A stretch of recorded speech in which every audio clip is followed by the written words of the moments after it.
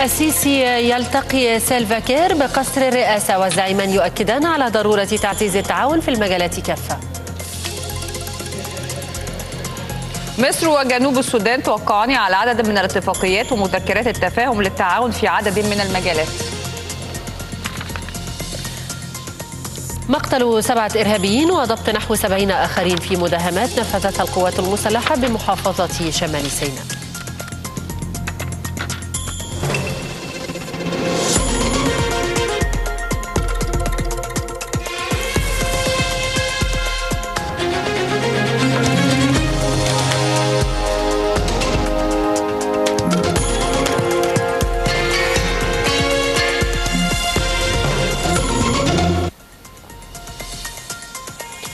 الثامنة مساء في القاهرة السادسة مساء بتوقيت جرينتش بانوراما إخبارية على شاشة النيل مرحبا بكم.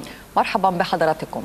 عقد الرئيس عبد الفتاح السيسي جلسة مباحثات ثنائية مع رئيس جنوب السودان سلفاكير بيرادات بمقر رئاسة الجمهورية بمصر الجديدة. عقبها جلسة مباحثات موسعة. خلال المباحثات تم التأكيد على أهمية تكثيف العلاقات الثنائية في كافة المجالات لا سيما الصحة والزراعة والتعليم والري. وكذلك التنسيق بين وزيري خارجية البلدين من أجل الارتقاء بالتعاون وبناء القدرات للإخوة في جنوب السودان كما تناول لقاء تطورات الأوضاع في المنطقة شهد رئيس مجلس الوزراء إبراهيم محلب توقيع عدد من الاتفاقات والبرامج التنفيذية ومذكرات التفاهم بين عدد من الوزارات المصرية ونظرائها من دولة جنوب السودان. تضمنت هذه الاتفاقات البرنامج التنفيذي بين حكومة جمهورية مصر العربية وحكومة جنوب السودان في مجالات الشباب والطلائع ومذكرة تفاهم للتعاون في المجال الثقافي وبرنامج تنفيذي للتعاون في مجال التعليم العالي إضافة إلى اتفاقية التعاون الفني والتنموي في مجال الموارد المائية ومذكرة تفاهم للتعاون الزراعي لإنشاء مزرعة نموذجية مشتركة على مساحة 200 هكتار بجنوب السودان. شملت الاتفاقات بين مصر وجنوب السودان مذكرتي تفاهم للتعاون في مجالي الصحة والكهرباء.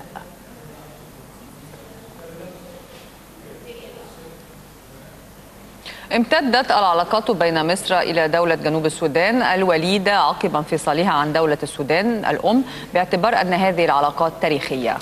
يرى الخبراء أن زيارة رئيس جنوب السودان سيلفا كير إلى مصر في هذا التوقيت سيكون لها أكبر الأثر في مواجهة التحديات التي تواجه الدولتين خاصة ملف نهر النيل.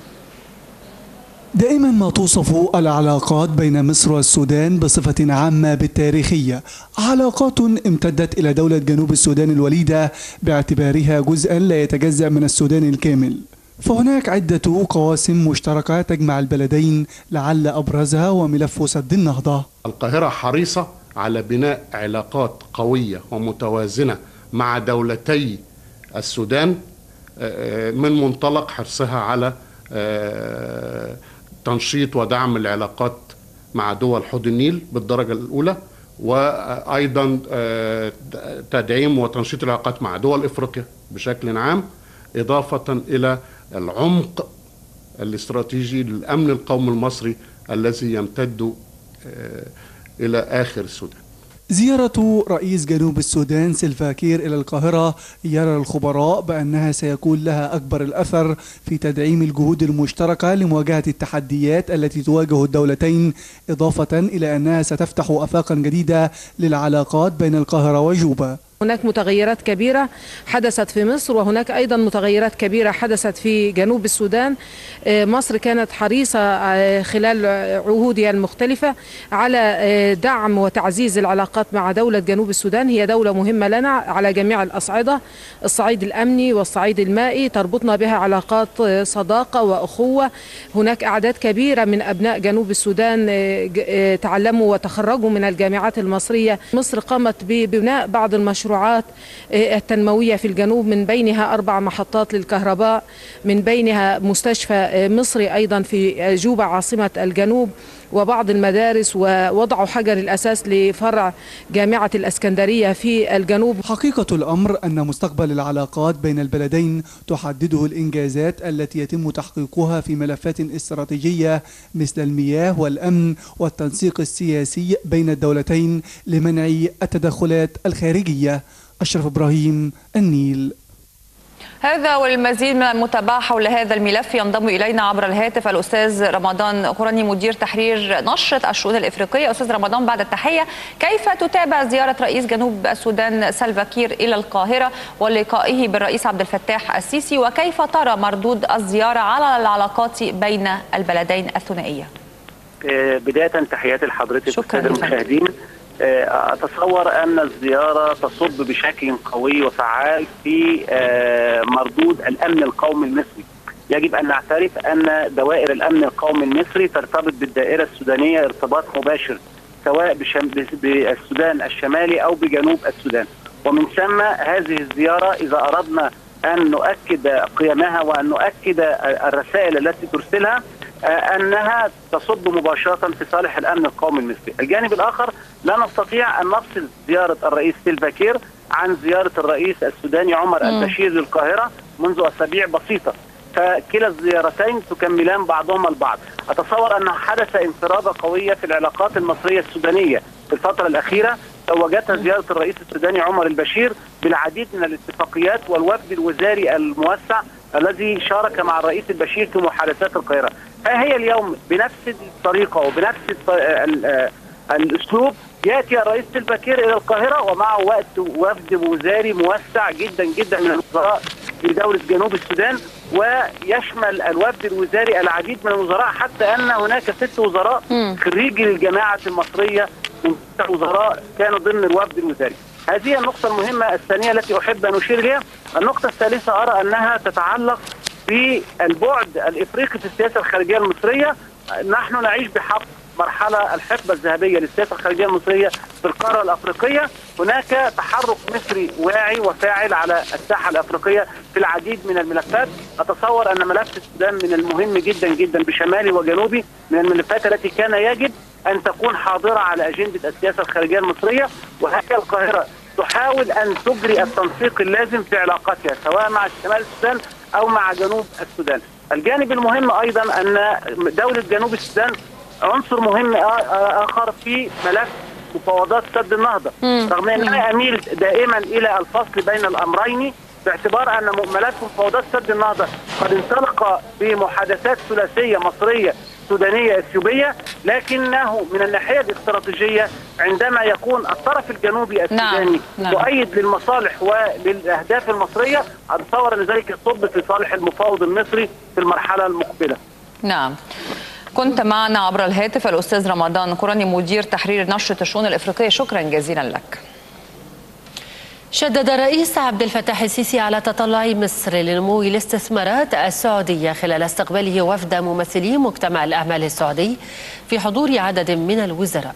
كما التقى الرئيس السيسي المبعوث الخاص للرئيس الصيني الذي جدد التأكيد على أهمية الدعوة الرسمية التي وجهتها بلاده إلى الرئيس السيسي لزيارة بكين الشهر المقبل. قضية التنمية الاقتصادية وجذب مزيد من الاستثمارات لدفع عجلة الاقتصاد وتوفير فرص عمل لآلاف العاطلين لا تزال القضية التي تحتل أولويات عمل مؤسسة الرئاسة. وفي هذا الإطار يأتي لقاء الرئيس عبد الفتاح السيسي بوفد من رجال الأعمال والمستثمرين السعوديين بحضور وزراء التخطيط والصناعة والتجارة الداخلية والتموين. اللقاء تناول بحث سبل إزالة المعوقات التي تواجه بعض المستثمرين وتسليط الضوء على فرص ضخ استثمارات جديدة في بعض المشاريع التنموية العملاقة. كان لقاء إيجابيا للغاية. استعرضنا فيه كافة المشاكل التي تواجه المستثمر السعودي سواء في المشاريع القائمة أو التي كانت متواجدة منذ فترة طويلة وأيضا فيما سيحدث في المستقبل لتشجيع المستثمر السعودي أو المستثمرين بشكل عام لزيادة استثماراتهم في جمهورية مصر العربية. مشروع السويس أنا متفائل إنه حيكون يعني شباك جديد كبير بالذات السعوديين صناعاتنا نجحت جدا في المملكة ونصدر ونتطلع لقاعدة ثانية توصلنا للأسواق التقليدية تبعتنا في أوروبا وأمريكا وأمريكا اللاتينية ولن يكون هناك أفضل من الموقع في قناة السويس. حجم الاستثمارات السعودية في مصر تخطى حاجز ل 22 مليار دولار عبر ثلاثة ألاف شركة برأس مال سعودي خالص لتحتل بذلك المرتبة الأولى من بين الدول الخليجية الأضخم استثمارا في مصر وهو ما يعكس خصوصية العلاقة التاريخية والاستراتيجية بين البلدين مصر بالنسبة لنا بتمثل قلب الأمة العربية ونحن نستثمر في مصر زي ما بنستثمر في المملكة.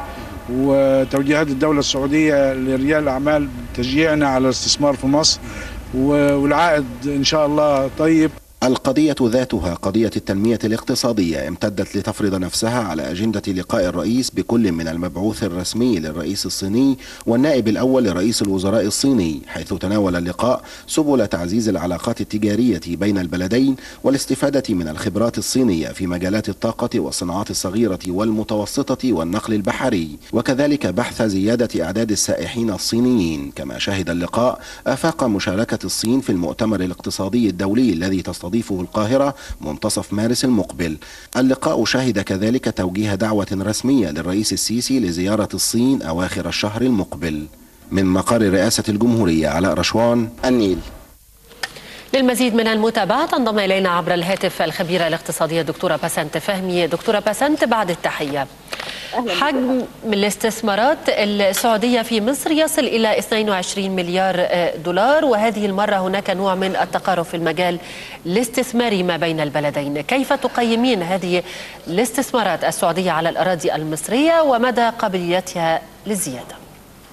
طبعا حضرتك ما يحدث في المنطقة تحول هائل في النظرة المستقبلية لأسلوب إدارة الاقتصاد في المنطقة ككل. المنطقة العربية لازم يبقى في بينها تعاون على مستوى عالي قوي وخاصة طبعا المملكة العربية السعودية بحكم إنها أكبر دولة من ناحية الناتج القومي الإجمالي في المنطقة.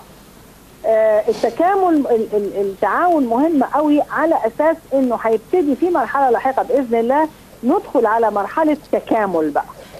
يعني نعم. التعاون إحنا في المرحلة الحالية أيوه حجم الاستثمارات كبير لكن ممكن يتزايد أكثر من كده بكثير فرص الاستثمار في مصر متاحة وعايزة أقول إن الاقتصاد المصري متنوع على أعلى درجة.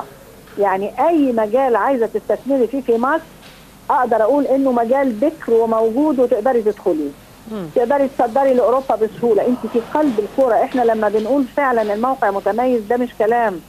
أنت في قلب الكرة الأرضية. أنت مدخل أساسي لأفريقيا. وعلاقتك بأوروبا وطيدة. البحر المتوسط بيجمعك حتى التصدير سواء كان مشرق أو مغرب ناحية حد طيب اوروبي هذا الموقع الذي حاب به الله مصر. ربما الصنيعة البشرية هي التي تحتاج إلى بعض التطوير أو التعديل. كثيرا ما سمعنا عن إجراءات لتسيير الاستثمار أو حتى قوانين أو تشريعات ربما تصب في ضمانة الحقوق بالنسبة للمستثمرين الذين يأتوا أو يجلبون الأموال الخاصة بهم إلى الأراضي المصرية. من وجهة نظرك ما ينقصنا في هذا المجال تحديدا حتى نكون قد أنجزنا هذا النجاح من الطبيعة البشرية؟ شوفي حضرتك أهم حاجة وأنا أعتقد إن الكل شايفها دلوقتي هي مناخ الاستثمار. وكلمة مناخ الاستثمار هي كلمة واسعة لكن أنا شايفة إن الحكومة والرئاسة مهتمة بالموضوع. بنشتغل على التشريعات بنشتغل على محاربة الفساد على منظومة نقل كبيرة بنشتغل على تدريب العمالة بنشتغل في كل المجالات الحقيقة. ولازم نعرف إنه مفيش مستثمر هيدخل مصر عشان يخرج بعد سنة أو اثنين أما بتحطي استثمارات على الأرض أنت عايزة تقعدي 50 أو 100 سنة وتورثي طويلة الأجل. فلازم تبقي عارفة إن الناس دي جاية تقعد معانا تعيش معانا. فلازم تسهلي لها وسائل الدخول وإذا حبت تخرج تسهلي لها وسائل الخروج. ده بيجيبنا بقى لسوق رأس المال. قوانين اللي بتسهل خروج الاستثمار قوانين اللي تسهل دخول الاستثمار قوانين اللي تسهل إن أنا فعلا أنزل أسهمي في البورصة. هي شيء منظومة طيب كل هذه الخطوات والجهود بتصب في في أي إطار بالنسبة للمؤتمر الاقتصادي المقرر ما بين الثالث عشر إلى الخامس عشر من مارس القادم؟ كل الكلام ده لازم نخلص منه قبل المؤتمر وإن شاء الله هنخلص منه. يعني لازم نكتمله ونخلصه قبل المؤتمر. وكمان عندنا النواحي السياسية لازم بإذن الله نكون خلصنا كمان الانتخابات البرلمانية. فالناس لما تقرر تدخل تقول أنا داخله أقعد في البلد دي 100 200 سنة بإذن الله. أشكرك. فده موضوعات إن شاء الله كلنا نشتغل عليها مع بعض أشكرك الخبيرة الاقتصادية الدكتورة بسنت فهمي ما زلنا نتواصل مع حضراتكم حيث التقى رئيس مجلس الوزراء إبراهيم محلب المبعوث الخاص للرئيس الصيني وذلك بحضور وزيرة التعاون الدولي الدكتورة نجلاء الأهواني. خلال اللقاء أكد محلب حرص مصر على تذليل كافة العقبات التي تواجه كافة الشركات الاستثمارية الصينية على أراضيها، موضحا أنه في ضوء اهتمام الصين بالقارة الإفريقية فإن الشركات الصينية التي تعمل في مصر سيكون لديها فرصة النفاذ إلى الأسواق العربية والإفريقية والاتحاد الأوروبي. من جانبه أكد المبعوث الصيني رغبة بلاده في تطوير علاقاتها مع مصر منوها إلى أن الصين تدرك أن مصر دولة ذات وزن وتأثير لا يقتصر على العالم العربي والإسلامي بل وعلى الساحة الدولية بأسرها. قال رئيس مجلس الوزراء إبراهيم محلب إن جيش مصر وشعبها يواجهان حربا مع الإرهاب مؤكدا إصرار الحكومة على تحقيق الاستقرار السياسي والاقتصادي في البلاد. جاءت تصريحات محلب خلال مؤتمر صحفي أعلن خلاله انعقاد مؤتمر مصر المستقبل لدعم وتنمية الاقتصاد المصري في شرم الشيخ في الفترة من الثالث عشر وحتى الخامس عشر من مارس القادم. جهود الشباب ورجال الأعمال ومنظمات المجتمع المدني طاقات شدد المهندس إبراهيم محلب رئيس مجلس الوزراء على ضرورة تعاونها مع الحكومة المصرية من أجل استقرار الوطن وهو ما ينعكس على استقرار المنطقة ككل. هذا خلال المؤتمر الصحفي الذي عقده محلب للإعلان عن المؤتمر الاقتصادي العالمي مصر المستقبل والذي سيعقد في شرم الشيخ من الثالث عشر وحتى الخامس عشر من مارس القادم. دعوني أنتهز هذه المناسبة لتوجيه رسالة هامة وهي إننا بحاجة إلى الأجيال الجديدة وإلى الشباب إلى مجتمع رجال الأعمال إلى مؤسسات المجتمع المدني إلى شركائنا في الدعم والتنمية لمساندة وتدعيم الجهود المصرية. من أجل استقرار هذا البلد اللي بينعكس أيضا على استقرار المنطقة اللي بينعكس أيضا على استقرار العالم. أكد محلب خلال المؤتمر أن مبادرة مستقبل مصر تهدف لتحسين فرص الحصول على رعاية صحية جيدة وخدمات تعليمية متميزة وتوفير للطاقة من أجل الحصول على حياة أفضل للمواطن المصري. إننا اليوم نعلن عن انطلاق مصر نحو التنمية نحو الاستثمار نحو الاقتصاد القوي. وأيضا أن إحنا بنؤكد أن هناك دعم وهناك مشاركة لأشقائنا في المملكة العربية السعودية ودولة الإمارات العربية المتحدة. سنرسي سويا سنرسي سويا إطارا لانطلاقة عربية. نحو مستقبل أفضل لشعوبنا وآفاق أرحب لأجيالنا. تستعد مصر لاستقبال هذا المؤتمر من خلال خطة تشمل ثلاثة محاور. وهي تنظيم جيد للمؤتمر والعمل على تسوية نزاعات الاستثمار ومراجعة التشريعات الاقتصادية من خلال لجنة للإصلاح التشريعي. نعلن عن المؤتمر كنقطة انطلاق وبداية لعملية استثمار طويلة ومن هنا حتى كانت تسمية المؤتمر في النهاية بمصر المستقبل لنشير إلى المستقبل ولأنه عملية مستمرة مع الأجيال مش مسألة بتقتصر على حدث واحد. الطريق الوحيد والرئيسي أمام المستثمر النهارده لتهيئة هذا المناخ أن يصبح أمام المستثمر إجراءات واضحة وسهلة لأداء الأعمال أن يصبح أمام المستثمر النهارده إجراءات سهلة للدخول وأن يصبح هناك طريق واضح للخروج. إما هذا الطريق أن يكون الخروج عن طريق بورصة الأوراق المالية أو المستثمرين الاستراتيجيين وبالتالي في الحتة دي بدأنا النهاردة نطور في قوانين الخاصة بأسواق رأس المال 95 لسنة 92 الجدير بالذكر أن رئيس الوزراء أشار خلال كلمته أن الاقتصاد المصري يتعافى وقد وصلت معدلات النمو في الربع الأول من العام الجاري إلى 6.7% في الوقت الذي تتعهد فيه الدولة بالقضاء على الإرهاب وتحقيق الاستقرار تتعهد أيضا بتحقيق نمو اقتصادي عن طريق تهيئة مناخ جيد للاستثمار يمثل قوة لمصر لاستعادة دورها الريادي في المنطقة. عمرو عبد العزيز النيل.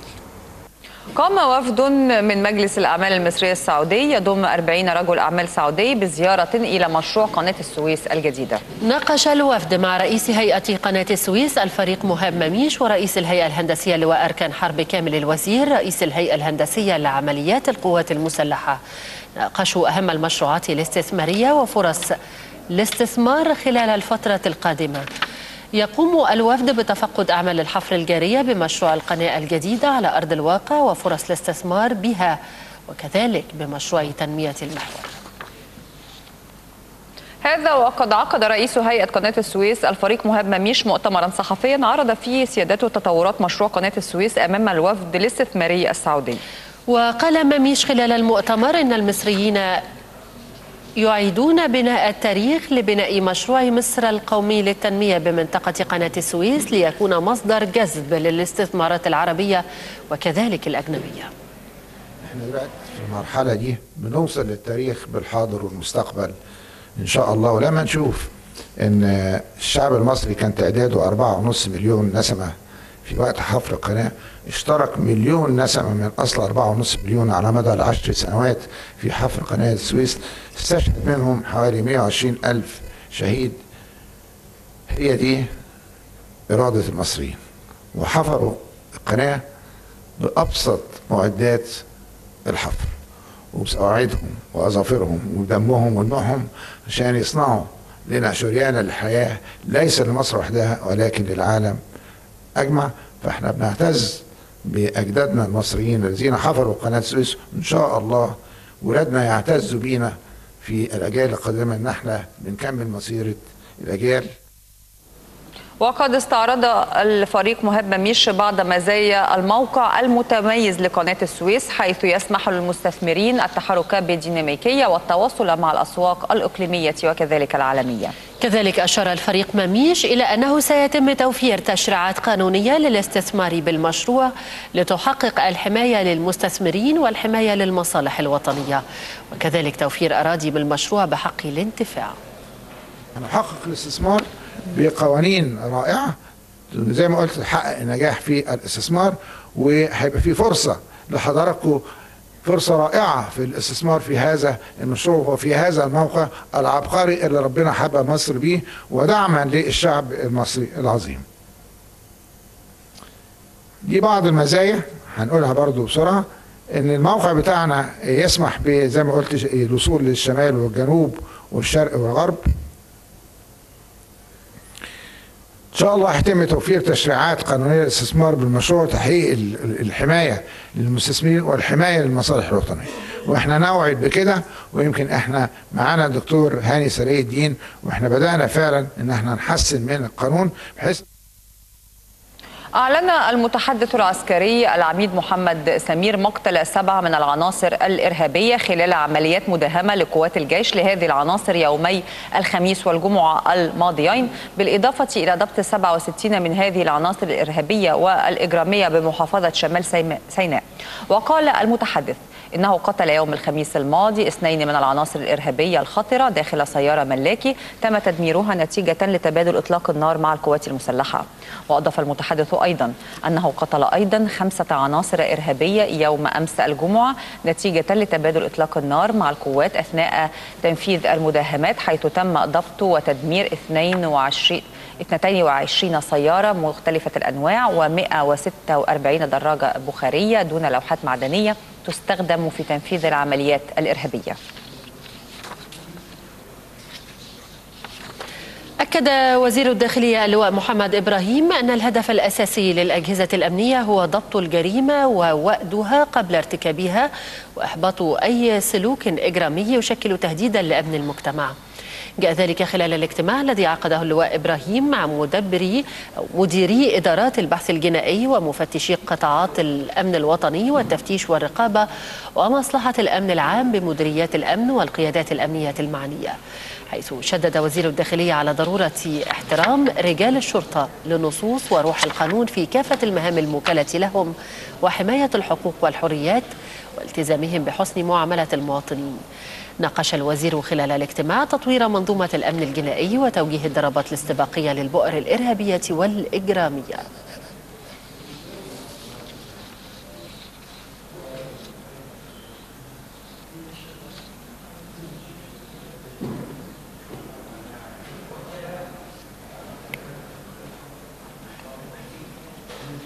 استقبل الرئيس عبد الفتاح السيسي في مقر رئاسة الجمهورية بمصر الجديدة السفراء الجدد لسبع دول هي اليابان وتشاد وكندا وألبانيا وفرنسا وكوبا وبيرو.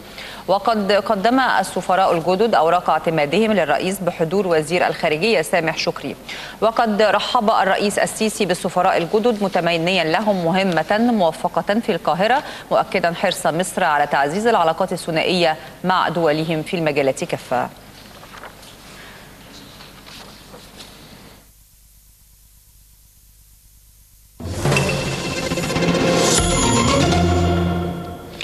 أكد الرئيس الفلسطيني محمود عباس استمرار المسعى الفلسطيني في مجلس الأمن الدولي لإنهاء الاحتلال الإسرائيلي وإقامة الدولة الفلسطينية المستقلة وعاصمتها القدس الشريف على حدود عام 67 وقال أبو مازن خلال كلمته في بداية اجتماع المجلس الاستشاري لحركة فتح إن لجنة متابعة مبادرة السلام العربية ستعقد اجتماعا في نهاية نوفمبر الجاري لبحث الخطوات الفلسطينية في مجلس الأمن الدولي والقرار الفلسطيني العربي الذي سيقدم لمجلس الأمن. وأوضح أن السياسة الدبلوماسية الفلسطينية الحالية تكسب بشكل دائم المزيد من الدعم الدولي لصالح القضية الفلسطينية وذلك من خلال الاعتراف الدولي المتزايد بدولة فلسطين المستقلة. وللمزيد من المتابعة ينضم إلينا عبر الهاتف الدكتور واصل أبو يوسف أمين عام جبهة التحرير الفلسطينية. دكتور واصل بعد التحية أهم المساعي الفلسطينية لإنهاء الاحتلال الإسرائيلي وإقامة الدولة الفلسطينية المستقلة وعاصمتها القدس الشريف. دكتور واصل.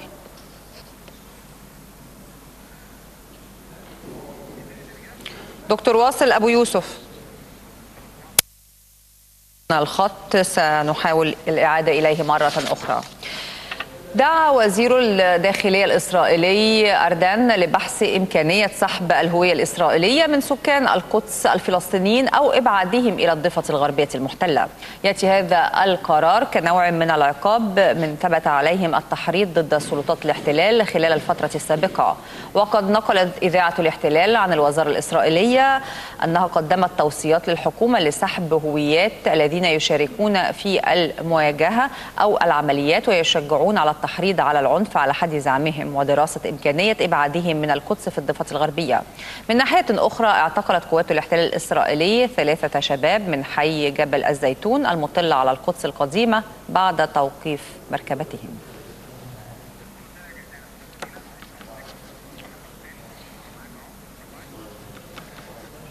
ومعنا عبر الهاتف الدكتور واصل أبو يوسف أمين عام جبهة التحرير الفلسطينية. دكتور واصل بعد التحية لحضرتك. مرحبا بك. أهلا بحضرتك. آه كنا نتحدث عن أهم المساعي آه الفلسطينية والتي تقوم بها السلطة الآن لإنهاء الاحتلال الإسرائيلي. إقامة دولة فلسطينية مستقلة عاصمتها القدس الشريف. تفضل. القيادة الفلسطينية اتخذت قرارا واضحا بالذهاب إلى مجلس الأمن الدولي نعم. لوضع مشروع قرار حول جلاء الاحتلال عن أراضي الدولة الفلسطينية المعترف بها في 29 نوفمبر 2012 ضمن سقف زمني محدد. وبطبيعة الحال تم التوافق عربيا على دعم هذا المشروع القرار. والآن هناك لجنة المتابعة العربية ستعقد اجتماعها في القاهرة في التاسع والعشرين من هذا الشهر. سيحضر الرئيس أبو مازن آه، اجتماع لجنه المتابعه العربيه للتأكيد على آه، الذهاب إلى مجلس الأمن الدولي بدعم عربي وإسلامي ومن العديد من دول العالم من أجل التوصل إلى جلاء الاحتلال ضمن سقف زمني، لا يمكن القبول بأن يبقى هذا الاحتلال جاثما على صدر الشعب الفلسطيني يمارس كل إجرامه وعدوانه وسياسة القتل والتصفية والاحتلالات المتواصلة على الشعب الفلسطيني وعلى مقدساته الإسلامية والمسيحية بما فيه المسجد الأقصى المبارك وانفلات المستوطنين الاستعماريين بهذه الطريقة، لذلك آه آه هذا القرار يأتي في سياق إنهاء الاحتلال وفي سياق كما قلت دعم عربي، نحن نعتقد أنه بعد اجتماع لجنة المتابعة العربية والدعم العربي المرصود من خلال هذا الاجتماع لهذا التوجه سنذهب بشكل فوري إلى مجلس الأمن الدولي للتصويت على مشروع القرار وفي حال م. كان هناك فيتو أمريكي نعم. في حال كان هناك تعطيل من قبل الإدارة الأمريكية التي تعارض هذه الخطوة سيكون هناك إجراءات أخرى بما فيها الانضمام إلى كل المؤسسات الدولية وفي المقدمة الانضمام إلى معاهدة روما المؤسسة محكمة الجنايات الدولية واتخاذ قرارات أخرى بما فيها التحلل من كل الاتفاقات المبرمه مع السلطة الوطنية الفلسطينية التي جاءت هذه السلطة لمرحلة انتقالية كان يتعين أن تنتهي عام 99 بفعل الأمر الواقع تم تمديده حتى اليوم. هناك اتفاقات مجحفة سواء اقتصادية أو أمنية أو حتى سياسية فلا بد من اتخاذ خطوات من أجل التحلل من كل طب يا فندم يعني استخدام الفيتو الأمريكي سيجمد المسألة على الأرض. كيف ترون هذه المسألة؟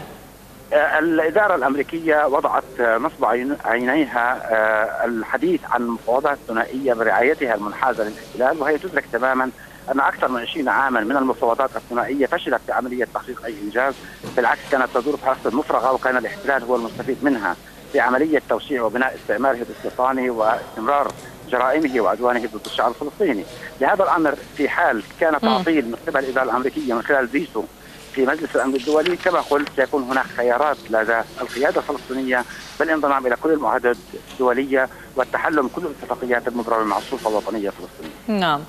الصورة وصلت الآن. الدكتور واصل أبو يوسف أمين عام جبهة التحرير الفلسطينية. شكرا جزيلا على هذه المتابعة.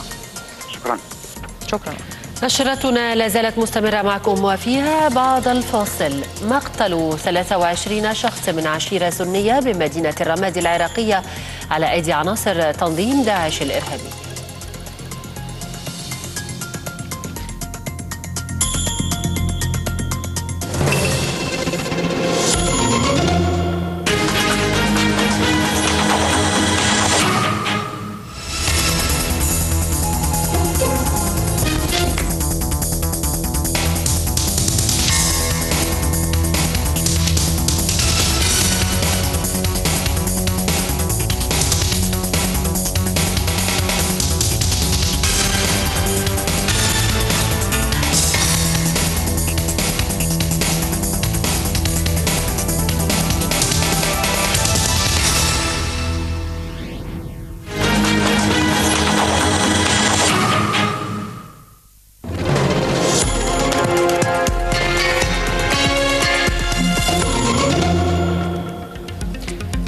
ما هو قادم في بانوراما النيل أخبار الاقتصاد. نتعرف عليها سويا والأمير داوود إليك أمير شكرا لك دينا شكرا أهلا بكم مشاهدينا الكرام في وقفتنا الاقتصادية وأبرز ما نتابع فيها. وزير الإسكان يؤكد على وجود خلط بين المشاريع التي تنفذها الوزارة ويشدد على أنه لا يوجد دعم لمتوسط الدخل بل هي مساندة.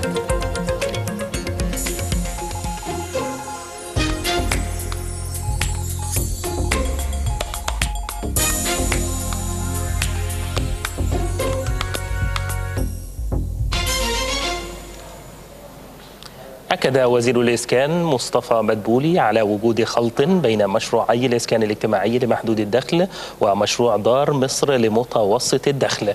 وشدد مدبولي على أن مشروع الإسكان الاجتماعي يستهدف تنفيذ مليون وحدة سكنية على مستوى الجمهورية بمساحة 90 متر بينما يستهدف مشروع دار مصر تنفيذ نحو 150 ألف وحدة سكنية فقط في عدد من المدن الجديدة بمساحات أكبر.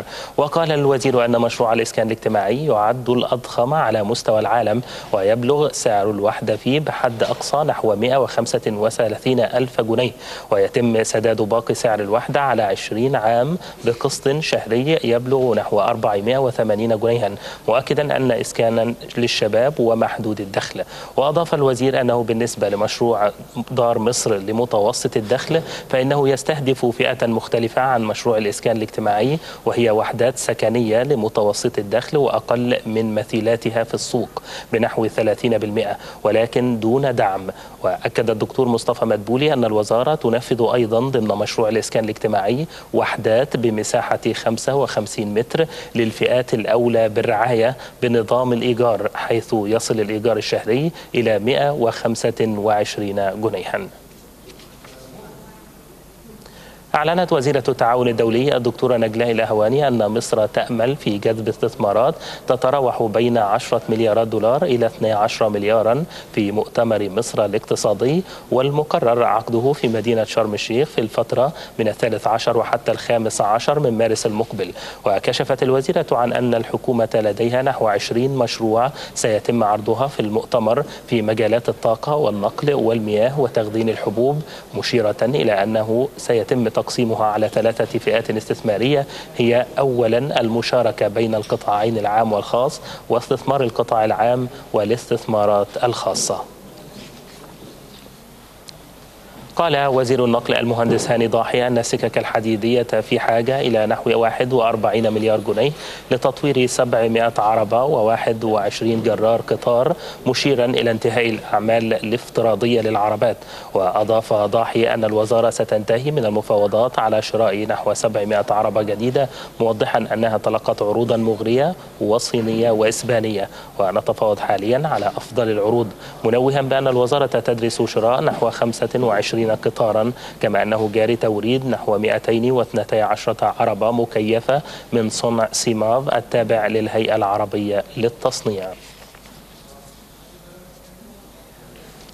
كشف وزير المالية هاني قدري عن أن الحكومة تعمل على تحسين التشريعات الضريبية لتحقيق عدالة ضريبية وتطبيق طرق حديثة للسيطرة على التهرب الضريبي. كما كشف الوزير في مؤتمر صحفي اليوم عن وجود تحسينات تم إدخالها على الضريبة على الدخل.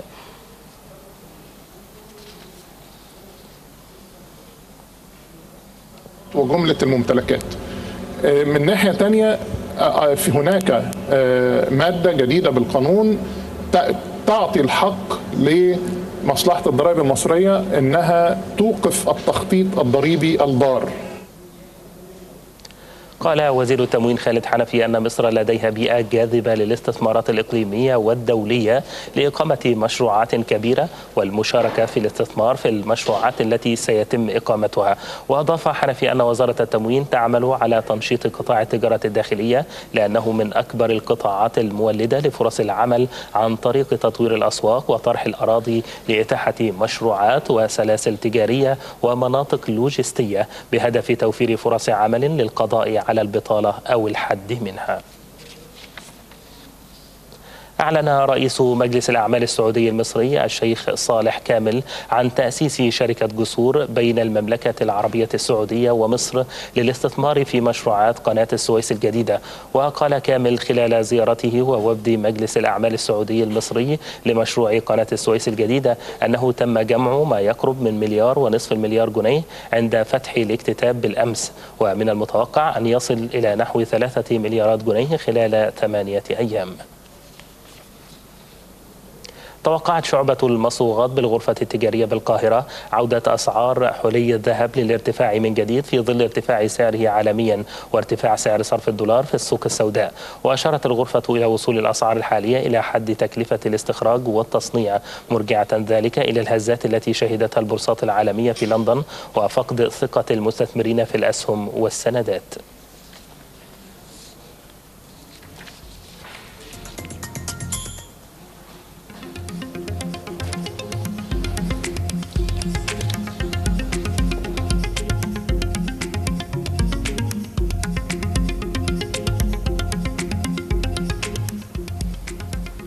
ختام هذه الوقفة الاقتصادية وعودة من جديد إلى الزملاء دينا أبو الفتوح وهبة حسين واستكمال البانوراما. شكرا. لك. أمير داوود. وهذه وقفة مع عناوين الأخبار. الرئيس السيسي يلتقي سلفاكير بقصر الرئاسة والزعيمان يؤكدان ضرورة تعزيز التعاون في المجالات كافة مصر وجنوب السودان توقعان على عدد من الاتفاقات ومذكرات التفاهم للتعاون في عدد من المجالات. مقتل سبعة إرهابيين وضبط نحو سبعين آخرين في مداهمات نفذتها القوات المسلحة بمحافظة شمال سيناء. مرحبا بكم. إلى تطورات الحرب على تنظيم داعش الإرهابي حيث أفادت مصادر عراقية بأن التنظيم قتل 23 شخصا على الأقل من أبناء عشيرة سنية في محافظة الأنبار. تعد الأنبار محافظة استراتيجية لكونها الأكبر في العراق ويعد الهجوم الذي شنه داعش على المدينة الأعنف منذ سيطرته على مناطق واسعة شمال العراق. بين كر وفر تدور المعارك وتتبادل الأدوار بين الأطراف المتحاربة. نقطة هنا وأخرى هناك وتبقى اللعبة مفتوحة النهايات. في العراق قصفت قوات التحالف الدولي مواقع تنظيم داعش بالقرب من مدينة بيجي وجبل سنجار وغرب كركوك. وبالقرب من الموصل والرمادي وتل عفر تمكنت تلك الغارات من تدمير عددا من الوحدات التكتيكية ونقاط تفتيش أقامها التنظيم الإرهابي بالإضافة إلى عدد من الشاحنات والآليات. وعملت قوات التحالف على تطوير خطط تدريب ومساعدة القوات العراقية على محاربة التنظيم والقضاء عليه وتدعيم الأمن داخل البلاد. فعقدت الاجتماعات لبحث سبل توحيد وتعزيز الجهود المشتركة لدعم العراقيين وتوفير فرصة لتبادل الخبرات ووجهات النظر إزاء كيفية التصدي للتنظيم. وظهرت نتائج عمل قوات التحالف وقوات الأمن العراقية في قصف مواقع لداعش غرب محافظة الأنبار وفي محافظة كركوك مما أسفر عن مقتل العديد منهم وتدمير عدد كبير من معداتهم. بالإضافة إلى ذلك التقدم تمكنت القوات الأمنية العراقية وبإسناد من أبناء الحشد الشعبي من تحرير قضاء بيجي وفك الحصار عن مصفاة النفط في عملية عسكرية واسعة النطاق. من جهة أخرى أعلنت مصادر عشائرية عراقية أن تنظيم داعش يحاول قطع الطريق الاستراتيجي الذي يربط بين قاعدة الحبانية والرمادي ودفع تعزيزات عسكرية من الضفة اليسارية لنهر الفرات عبر الزوارق إلى مناطق شرق الرمادي التي تشهد معارك ضارية بين قوات الأمن والعشائر ضد التنظيم. وفي تطور موازن يظهر أبعاد الصراع في العراق قامت عناصر التنظيم بغلق عدد من المدارس الدينية في مدينة الموصل وفتحت مدارس أخرى في مسعى لتحريف مبادئ الإسلام والترويج لأفكار التطرف والتأثير في عقول الشباب لكسبهم إلى صفوفه. يبدو أن المعارك على أرض الواقع أصعب بكثير من مسيلاتها في ألعاب الفيديو فهي مليئة بالمفاجآت والتطورات السريعة التي تستوجب حلولا إبداعية متجددة من كافة الأطراف المتورطة فيها. ويصعب أن يكتب أي طرف فيها نهايتها. أفاد ناشطون سوريون بأن حصيلة قتل الغارات التي يشنها قوات التحالف الدولي على معاقل تنظيم داعش الإرهابي في سوريا ارتفعت لتصل إلى أكثر من 900 قتيل منذ بداية الغارات في سبتمبر الماضي وأن معظمهم من مقاتلي التنظيم المتشدد وبعض المدنيين. وقد أوضح المرصد السوري لحقوق الإنسان أن الغارات قتلت أكثر من 785 مسلحا من تنظيم داعش و72 مسلحا من جبهة النصرة التابعة لتنظيم مقتل 52 مدنيا بينهم ثمانية نساء وخمسة أطفال. كانت غارات التحالف الدولي قد بدأت في استهداف معقل تنظيم داعش في أواخر سبتمبر الماضي بعد ضرب معاقله في العراق. أعلن وزير الخارجية الروسي سيرجي لافروف أن موسكو والمملكة العربية السعودية اتفقتا على إنشاء مجموعة عمل لتنسيق التعاون في مواجهة الإرهاب. جاء ذلك خلال لقاء لافروف ونظيره السعودي سعود الفيصل وقد أوضح وزير الخارجية الروسي أن موسكو والرياض متفقتان حول ضرورة تعاون كل من يدرك الخطر الحقيقي لتنظيم داعش وغيره من التنظيمات الإرهابية في المنطقة مشددا على ضرورة إيجاد طرق تخرج المنطقة من حالة عدم الاستقرار. إلى تطورات الأوضاع في سوريا حيث قتل 21 عنصرا من القوات الحكومية السورية في محيط حقل شاعر الغازي والنفطي في محافظة حمص خلال اشتباكات مع تنظيم داعش. يأتي هذا بينما هاجم مسلحون من المعارضة السورية آخر معقل تتحصن به قوات الجيش بمدينة البعث في محافظة القنيطرة القريبة من هضبة الجولان المحتلة جنوب البلاد.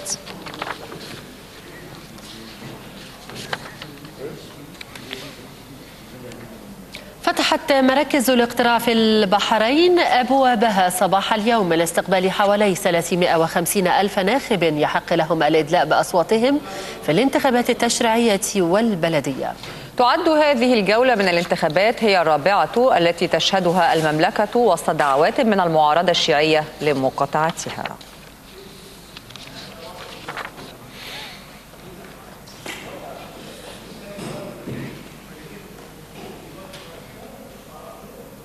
والآن مع وقفتنا الرياضية. ياسمين القفاص وأخبار المنافسات المختلفة. إليك شكرا لكم هبة ودينا وأهلا بكم مشاهدينا في وقفة